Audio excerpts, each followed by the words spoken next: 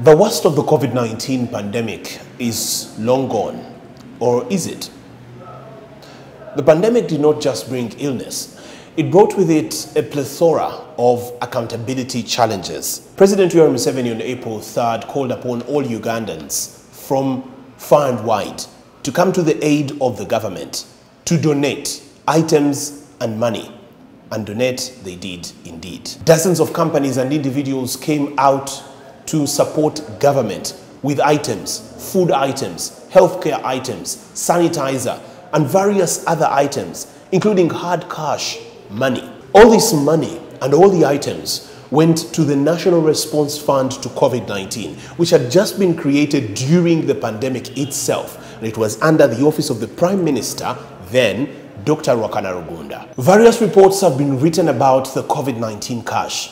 Accountability reports about how this money was spent at a time when the entire country was in dire need of aid.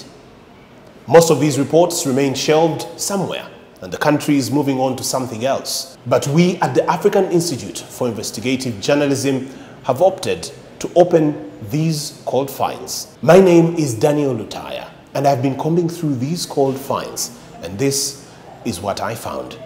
The government borrowed approximately 3.3 trillion Uganda shillings and that was 7% of the 2020-2021 national budget to finance COVID-19 response activity. 491.5 million US dollars, which is approximately 1.8 trillion, came from the International Monetary Fund.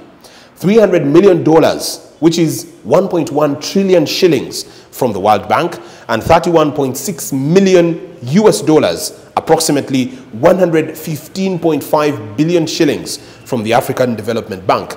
The government also received gifts from various international partners, which include the European Union, USAID, China, and the US, which was worth millions of dollars. Similarly, the Ministry of Health received 25 billion from the Emergency and Consolidated Fund, shillings 94.1 billion in supplementary budget and 109.7 million in kind and cash contributions from the public, private and development partners. Overall, the budget for the multi-sectoral COVID-19 response from March to June 2020 stood at 2.2 trillion shillings. But how did government spend all this money? The COVID-19 interventions report authored by the Budget Monitoring and Accountability Unit of the Ministry of Finance, Planning and Economic Development, authored in October 2020, reveals gross irregularities in the procurement and expenditure of the COVID-19 cash. The report reads, and I quote, Although over 300 beds were moved from Namboole quarantine center then to Mulago Hospital, the latter acknowledged receipt of only 290 instead of the 300 beds communicated.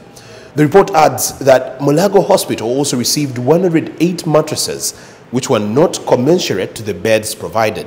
Three of the beds were already broken and left at Namboole. This company, JMS, supplied 2,000 single-sized bedsheets at 51,500 shillings each, whereas all beds and mattresses were reportedly delivered by this company to the Mandela National Stadium Namboole COVID-19 Treatment Center.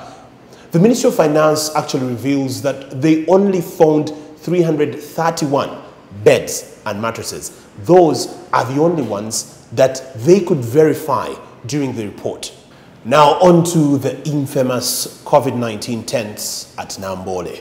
For the 20 tents, government paid 3.8 billion shillings, and that is 163 million shillings for each tent.